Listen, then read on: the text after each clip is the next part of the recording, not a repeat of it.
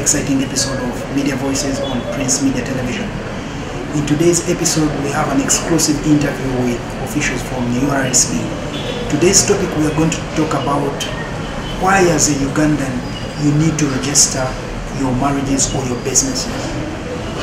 Joining me today in today's episode of Media Voices on Prince Media Television, as we speak to an official from URSB to find out why, as a Ugandan, you need to register your marriage.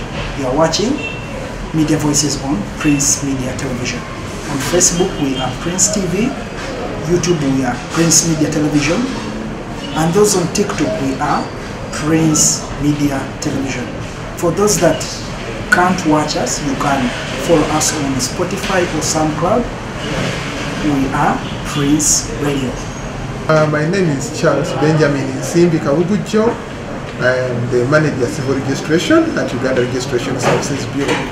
And you're most welcome, our viewers. We are glad to be with you. And uh, we are most grateful to you there for this opportunity for Prince Media to be helping us to take this message out. Now, um, I said I'm the manager of civil registration. And civil registration, among other things, uh, at URSB we are responsible for registration of marriages and we are also the ones who are in charge of the National Marriage Registry, where all marriages conducted in this country, In this country. ought to be registered. So um, if your marriage is not registered with the National Marriage Registry, if it is not there in the National Marriage Registry, you're going to have a few challenges about proving it legally. Yeah. on as a, a Ugandan from maybe if I'm coming from Kabale, why should I register my marriage with URSB? Um, first of all, it's because there are several different marriages in this country. You can get married by Okuhingira, customary marriage. You can get married in church. You can get married eh, as a Hindu in a Hindu temple. You can get married as a Muslim, nikah. Now, since you can get married in any of those ways, there, ne- there requires one place, one central place where all marriages can be put. Otherwise, there you might get married today and move to hmm. Arua and you marry someone else in a nikah, or you become you're Muslim, you become saved, you marry someone else, and it will all be confusion. Hmm. So please, the first benefit of registering a marriage hmm. is that all marriages are in the same place and everybody can check on who is married and who is not married. Actually, we advise young people like you before you get married and you are mm. getting planning for getting married, please mm. check and ensure that the The- person, the you want to, the you intend to get married, married to, to is not, not- already married, does not already have a what? A marriage. Now the second mm. thing which happens or which is important for you to, to, to register is the way you register for your O level, for your A level with UNEB. The National Marriage Registry hmm. is the name of marriages. Okay. When you get married in a church or in a mosque or in a nikah or in a customary, kuhingira, kwanjura, the government doesn't know. Just like when you study in your school in Butobere or in Budo, the government doesn't know until, Until you sit it. register. And how do you do that? You register with UNEB. So here, when you get married in whichever church, mosque, temple, or customary, hmm. if you don't register, then your neighbor doesn't know you. That is the whole challenge. So you are married, hmm. like you went to school, yes, you can tell people I went to school, I have this report from Butovere. Yeah. But if you don't have an O-level slip, you cannot tell anybody that you sat what. That you sign. So the second thing that registering a marriage does for you hmm. offers you legal proof. Because once you get a certified copy from the Register of Marriages, which is URSB, and then anywhere, whether it is a court of law, it's an embassy, it is NSSF, it is Administrator General, they will agree that you are married. Okay? That you are a husband and you are a wife under the law. What are some of the requirements that are needed for one or for any Ugandan to register their marriages? Uh, Incidentally, it is a, one of the simplest things you can do. For instance, if you get married in a church, you just have to make sure that that church has got a license. Remember, like a school, You don't want to sit your O level in a school which does not have a center number.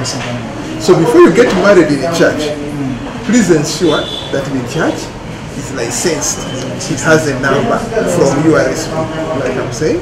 You, you want church to be licensed. Now, if a church is licensed and you get married there, that church makes returns Returns. to the National Marriage Registry, to URSB. Mm-hmm. Okay? So you don't have to do anything. You get married in a church, they will make the returns, and you can only go back to the church to get your acknowledgement slip. The way you went back to school to get your Certificate. certificate of UNEB. Okay? UNEB gave you a pass slip, gave you a certificate. So when you get married in a church, it files returns and then we give them acknowledgement slips. So your only job is to go to your church where you got married and say what is my acknowledgement slip from government. That um, now if you get married by Nikah, again the imam will send a copy of that uh, certificate, gives you two certificates, he will send a copy to the Tuare, and from the Tuare it will come to either Supreme Council or Kibuli. And the Supreme Council and Kibuli both file here. Again, all you have to ask the Imam is where is my what? Acknowledgement. The fees for filing are 35,000. That's all you have to pay. UNEB, when you are sitting, even the P7, I think you pay about 40, 50,000. O level, you pay over 100,000. But for marriages, you pay 30, 35. 35,000. That is to register with us. If you want a certified copy, like if you went to your neighbor now, if you wanted a certified copy of, if you're going to stand for politics, they will ask for a certified copy. You go to your neighbor and you pay fees and they give you a certified copy. The same here. If you go to an embassy and you want to travel with your spouse, they will ask for a certified copy of your marriage certificate. And then you can come or you can send it on email and we'll send you back. Again, you pay another one, 35,000. Eh, So that means that if I want a certified copy of my marriage certificate, I pay an extra 35,000. Yes. But for filing, for just making the returns, it The is 35,000. So you will get the certified copy when you need it. But when you file, we give you an acknowledgement. An A slip which says you have filed your marriage with You URSB. Now the most challenging one of filing or registering, what, what I call filing is what is registering. The most, uh, probably the most tedious is the customary marriage. Because you see all these other marriages, there is a registrar. The priest, the imam, the leader of the temple. If it is a civil marriage, at DC there is the cow. So all those ones have to go file. But for customary marriage, it is done at your home. So now from there, hmm. you need to go to the Gombolola, the sub-county chief. It's the sub-county chief of where the function has taken place who registers customary marriages. So when you reach there with your spouse, he will give you a government certificate. You will sign it with your spouse and your witnesses. He will sign and sign it and give you a copy. Copy. Then he will bring a copy back to marriage registration. All that is done to ensure that your marriage is legal and legally, excuse me, legally recognized. So in other words, when you register marriage, it gives you legal proof. Legality. Your marriage is legal, even if it is not registered, but you can't prove it. It's like you sat your O level, but you've never got your certificate and you've never got your slip.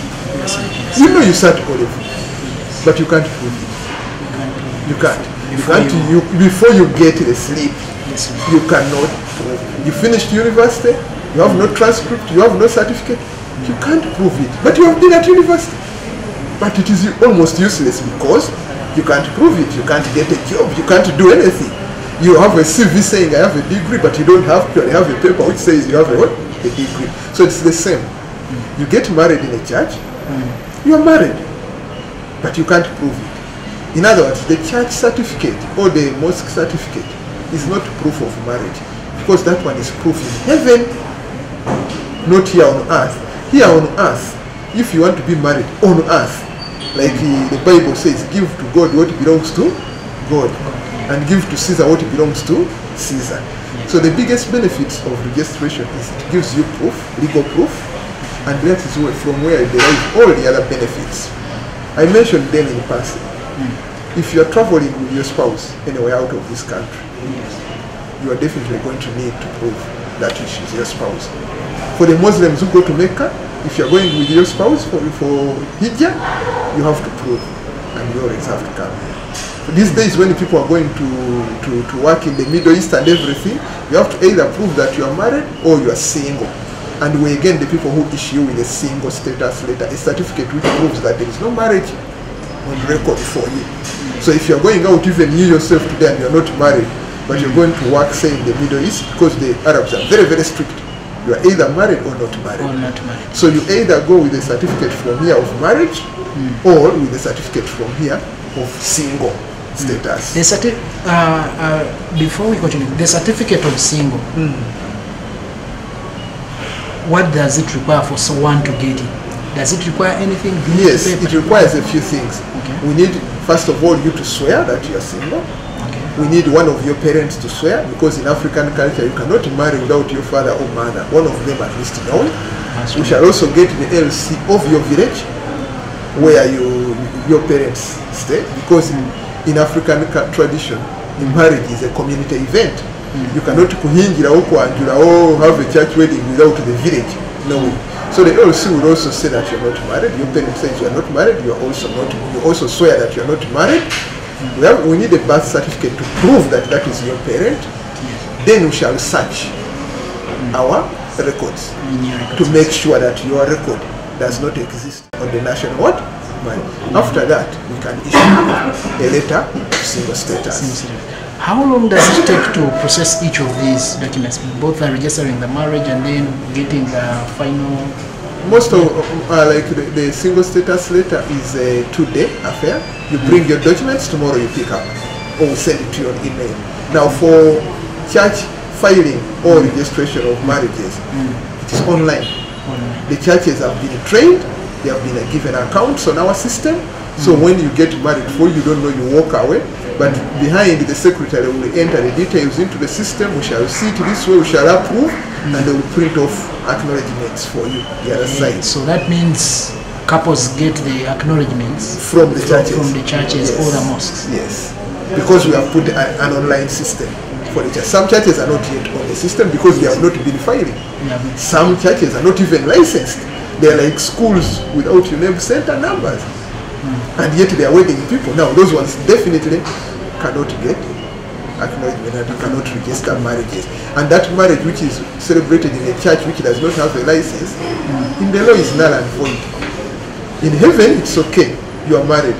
But here, if you ever want to travel, but then you tell me that in Kabale or some place, hmm. I don't want to travel, so what do I need to register my marriage? Um, this is something which we don't normally talk about at weddings, but which is the truth.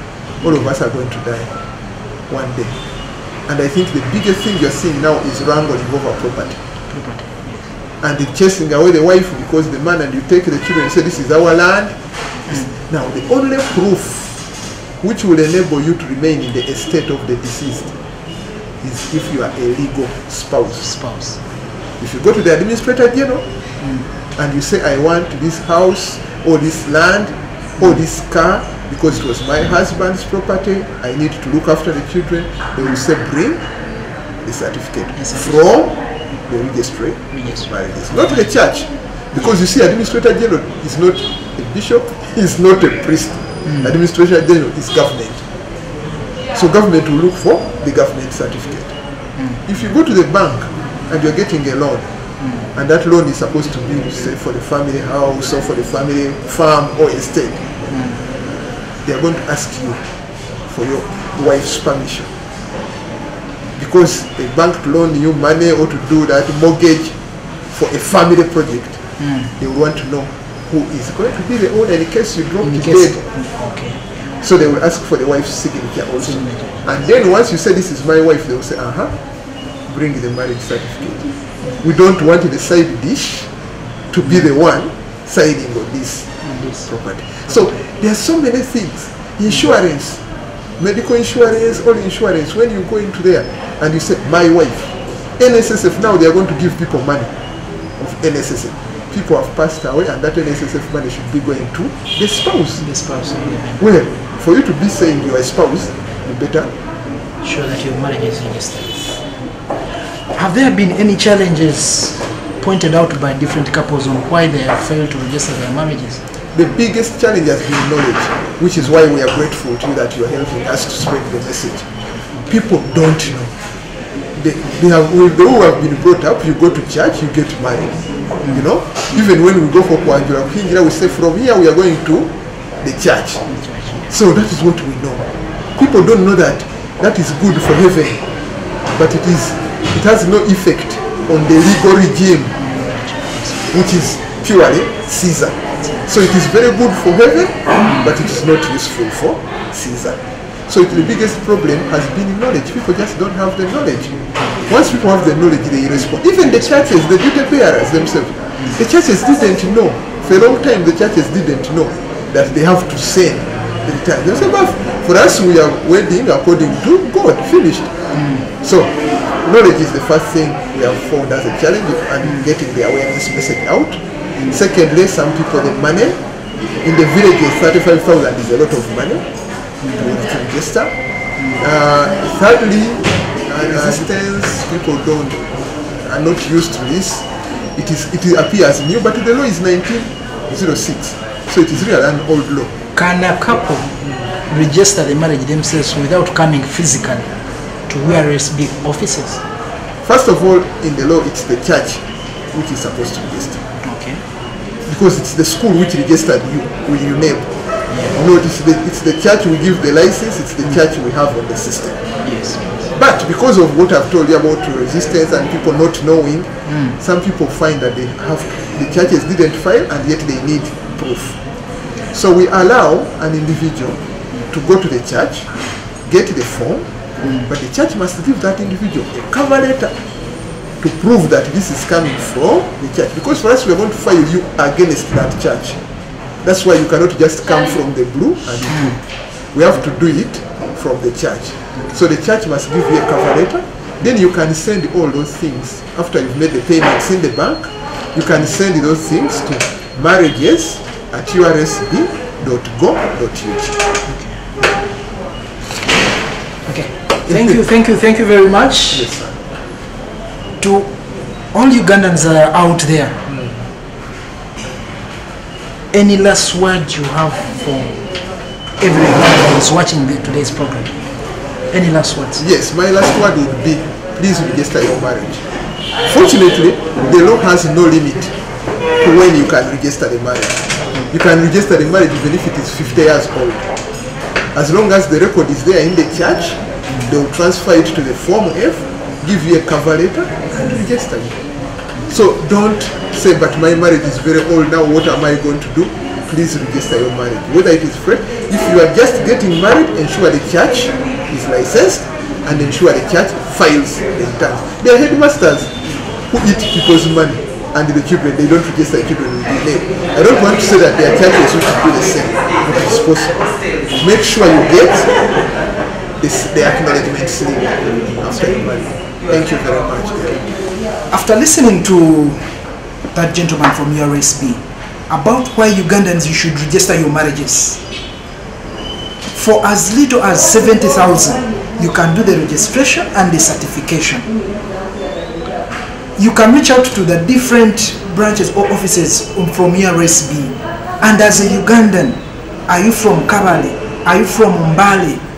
Masaka? Rengo? Mukono? Kaberamaido, Kasese, Gulu, Kotido, Oyam. You need to register your marriage as a Ugandan. You have had some of the benefits on why you should register your marriage and the disadvantages of you not registering your marriage. Thank you for all those that have been watching today's special program on why we should register your marriages. I'm your host, Deogwesha Sayunite. Follow us on our different platforms. On Facebook, we are Prince TV. YouTube, we are Prince Media Television. And those on TikTok, we are Prince Media Television. Fellow Ugandans, register your marriages.